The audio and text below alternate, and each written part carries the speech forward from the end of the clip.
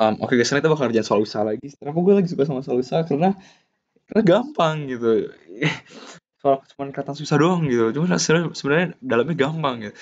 Jadi kocak gitu. Suatu pegas dalam konsep pegas K sekian berada di atas bidang miring dengan sudut kemirikan teta sekian. Jarak dari ujung paling bawah bidang dengan miring 1 meter. Sebuah benda yang masanya 2 kg diikat pada ujung pegas kemudian ditekan ke atas jauh 0,2 meter dan dilepas dari keadaan ini. Tentukan sekian. Um, laju benda pada saat pegas tidak bertekan berarti awal laju benda saat berada di ujung bidang paling bawah gitu berarti pegasnya sampai paling bawah kan? Berarti kok paling bawah lu pasti tahu kan kalau hanya itu nol kan? Karena ya paling bawah gitu sampai dasar. Berarti kalau hanya nol dia nggak bakal punya energi energi potensial kan? Nah jadi kita langsung kerja aja gitu. Jadi pas dia bilang laju benda pada saat pegas tidak tertegang tidak ter, ya tergang tergang sorry atau tertekan berarti kita tinggal bisa ngebandingin. Dia pengen nyari V kan? Berarti langsung gini aja guys. Kita langsung tulis aja Berarti kan K inisial plus atau K1 aja K1 plus U1 sama dengan K2 plus U2 di mana K itu sebagai energi kinetik dan U itu sebagai energi potensial gitu. Dan karena lu pakai ya um, energi kinetiknya kan berarti kan jadi setengah eh, sebentar gue mikir dulu. Um, uh, damn it. Setengah kali delta X. Iya betul. Energi kinetiknya itu di sini tuh seakan-akan menjadi energi potensial pegas gitu. Karena kayak ya gimana ya cara jelasinnya ya Hmm, gini deh, dari dari dari energi potensialnya dulu gitu. Energi potensial itu kan sebenarnya didefinisikan sebagai mg kali h kan. Di mana misal kalau bendanya, sorry, ah, tadi. Kalau bendanya itu di sini, si doi itu kan berarti kan bakal nah ngukur ngukur benda ngukur bendanya itu ya dari ketinggiannya dia kan. Dan minimal di, di case nya itu kan kalau lu pengen ngukur tingginya balok ini kan lu pakai theta ini kan. Misalnya kalau sekiannya ini tuh d kan nih uh, jarak dari ujungnya dua D kan. Berarti di sini tuh lu bakal nyari D sama tidak tergang atau tertekan setimbang tidak tergang. Tidak tergang itu berarti pas dia lagi di ini kan didorong kan. Karena renggang itu kan pas lagi doeng-doeng gitu kan. Berarti ini bakal ada sesuatu di di sekitar sini gitu bakal jadi X kan. Minimal yang D-nya ini kalau D-nya di sini berarti yang di sini berarti D desin kan Nah, minimal si X-nya. Ini kalau yang berarti kalau D plus X-in berarti hmm, berarti kalau lu mau nyari MGH lu harus pakai X-in juga kan? Karena kan X-nya ini kan dari sebagai pegas itu kan miring kan? Berarti lu pakai X-in theta juga gitu buat nyari MG buat nyari energi potensialnya. Dan yaudah berarti kan energi potensialnya itu kita bisa tulis dalam ini potensial dulu ya guys dari potensial itu kita bisa tulis mg nah um, ketinggiannya itu kan berarti d sin theta plus x sin theta kan. Berarti kita tulis aja d, d plus x sin theta itu nah terus berarti satu lagi itu kan um, satu setengah si energi pegas itu kan. Karena kan kayak ke sana kan ya ada energi kinetiknya lagi itu dari ini loh dari si doi gitu. Atau sebenarnya atau sebenarnya kita bikinnya itu kayak energi kinetiknya kagak ada gitu gue sebenarnya gue lagi baca ini kan solution manualnya gitu. Dan solution manualnya itu seakan-akan bilangnya itu kayak energi kinetiknya itu kagak ada gitu. Karena yang gue paham itu dua itu dari energi potensial. Pertama dari ketinggian benda kedua itu dari pegasnya gitu.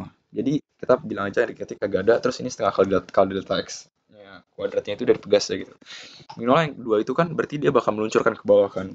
Itu pakai setengah mv kuadrat plus mg d sin theta kan. Ya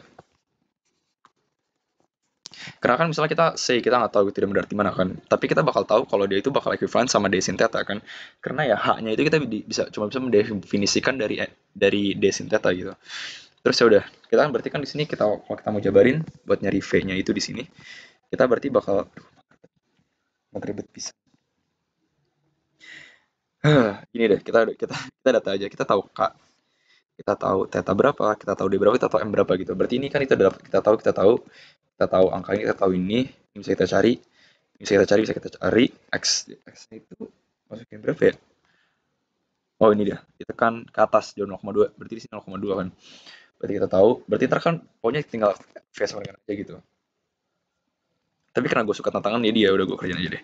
Ini gue kali dua semua deh. Berarti ini dua mg sekian plus K delta X kuadrat sama dengan MV kuadrat plus MG desin theta. Nah berarti kan kan udah lumayan obvious kan. Ini kan desin theta desin theta kan. Berarti ini udah bakal habis kan. Meanwhile tapi ada dua si Bambang ya. Berarti jangan kali dua dulu. Berarti di, di, di sini dulu gitu. Berarti si MG sin theta kan bakal habis kan. Kita bakal menyisakan di sini tuh tinggal MGX sin theta kan. Soalnya si MG sin theta udah udah mati kan berarti tinggal jadi setengah kx kuadrat sama dengan setengah mv kuadrat kan. Atau dari sini bisa dapat lagi nih m, m bisa dicoret, nggak bisa bisa rekanya ganggu. Hmm. Berarti kalau m nggak bisa, k bisa nggak bisa juga. Ya udah nggak bisa dapat lagi berarti kita kali dua lagi berarti di sini kita coret di sini di sini di sini berarti tinggal ini berarti tinggal ada ini kan. Bagi m berarti tinggal gini aja udah. Ya tinggal ada karin berarti tinggal kayak gini kan. Nah berarti ini selesai nih 2 mg 2 ini berarti sini bisa dicoret kan si doi. Berarti ini kita tinggalin aja m di sini ini bisa dicoret. Terus berarti kalau kita sederhana lagi berarti 2 g x sin theta plus kx kuadrat per m. Udah selesai kan? Nggak selesai banget. Dan tinggal dimasukin doang gitu. Kalkulator 2 kali 10 kali uh, 0,2 dikali sin 37 terus plus 170 kali 0,2 kuadrat 2 kg. Ini kan bakal dapat V-nya itu 2,4 meter per second. Terus abis itu dia minta apa sih yang B itu? Laju benda saat pegas berada di ujung bidang. Oke. Jadi pas jauh di ujung bidang itu kan berarti sorry laju benda saat pegas berada di ujung bidang. Miring paling bawah gitu. Hmm. Berarti kalau lu ujung paling paling bawah ya bisa ini. Tapi lu bisa bikin ini ini setengah squared kan berarti in either way kalau lu mau energi mekanik awal sama energi mekanik akhir bakal ada salah satu dari equation itu atau bisa kita bikin yang awal yang setelahnya itu kayak ini kan bakal ini kan bakal bakal ke sana kan berarti dia bilang pegasnya pegas itu sampai to the point dia bakal ke sini gitu berarti kan kalau dia nyampe sini dia nggak bakal punya energi mekanik kan di sini karena eh ya energi potensial maksud gue karena kan mgh kan dan h di sini kan sama dengan nol kan berarti kalau kita mau tulis u plus K sama dengan U plus K. Kita kan berarti tinggal sama aja di sini yang di kirinya itu masih sama yang B. Berarti kan kita bikin lagi MG D plus X sin theta plus setengah KX kuadrat. Terus sama dengan setengah V kuadrat doang kan berarti kan. Dia geraknya itu sampai yang kayak tak gitu ke bawah. Hanya kagak ada gitu. Terus berarti kan di sini kan ya ya dia bikin face lagi sama dengan kan selalu ditanya laju kan. Terus ada berarti ah, apa ya enak ya d plus x sin theta m nggak bisa dicoret. Kalau mereka bisa dicoret semua kan berarti udah langsung aja. Ini kan berarti langsung ada dua di sini ini langsung habis m nya itu langsung bagi aja di sini berarti ini langsung habis di sini ada m berarti ini langsung akar udah gitu berarti ini equation yang kalian bakal dapetin 2g kali dx plus sin theta plus kx kuadrat per m eh sama persis dari solution manualnya berarti kan bakal dapat V-nya itu kalau kalian masuk kalkulator kan bakal dapat 4,2 meter per second gitu. Jadi itu itu aja gitu. Soalnya nggak terlalu susah kan buat nomor 7 ini tutorial dan bersyukur kalau kalian dapat soal ini. Dan um, jangan lupa juga buat komen video ini karena itu berarti bagi gue itu salah satu value paling besar untuk di channel YouTube ini adalah komen dan audience retention. Yeah, I hope you enjoy the video. Thank you very much for watching. I'll see you guys very soon.